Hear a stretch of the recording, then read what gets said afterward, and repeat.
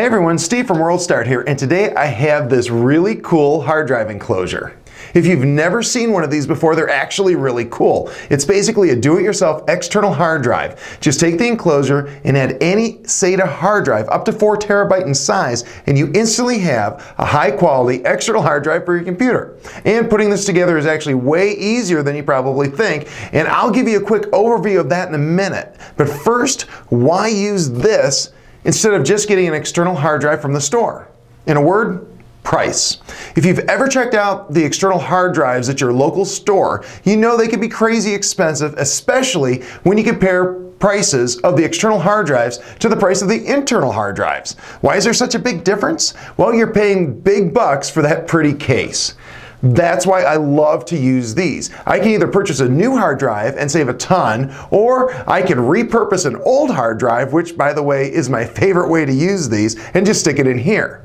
Plus, if I need a larger hard drive down the road, I can replace the hard drive in this case with a larger one. It's totally reusable. Oh, and I also wanted to mention that these are USB 3.0, so they are just like crazy fast. Also, don't worry if you don't have USB 3.0 yet, they work just fine with USB 2.0 as well, but man, these are like blisteringly quick on USB 3.0. Since I need to set up another one of these, I'm going to show you just how I do that right now so you can see for yourself just how easy this is.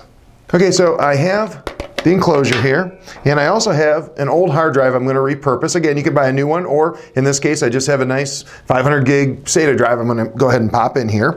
Uh, basically, what I'm going to do is I'm going to go ahead and pull the parts not screwed together or anything when it comes from the uh, factory. See, just a couple of quick wires you need to connect there. And you have to take these little pieces off here. And uh, I'm going to have the camera person come in so that you can get a close-up of what I'm doing. It's really easy. In putting these together, I found the easiest thing to do is to go ahead and just plug our two cords in right here first. This is the power cord, and these are easy. You just, they're, they're keyed, you can't make a mistake. You just plug it in, and then we'll plug in the data cord. That's it, just as easy as plugging a lamp. Again, if it's giving any resistance, you're doing it wrong, but super, super easy to do. Okay, the next step is just to insert the hard drive into the case, and you're going to want to do it with these, you want to make sure that you match up your screw holes here, these two right here, and these two right here. Real easy, just basically slides in, and uh,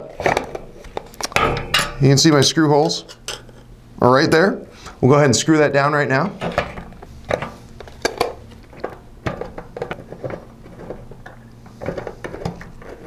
Next, we're going to go ahead and put these trim pieces back in. They just slide right back in. Nothing to it. And just want to make sure that your holes are lined up here. Real easy. Once they're in, the holes will be lined up.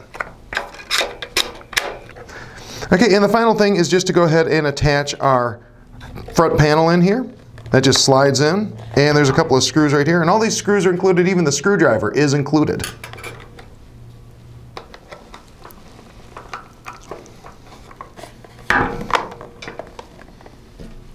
Hmm.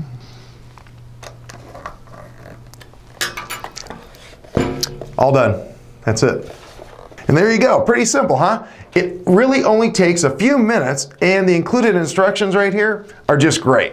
So give this a try and save yourself some big bucks, especially if you're repurposing an old hard drive. Thanks so much for watching and have a great day.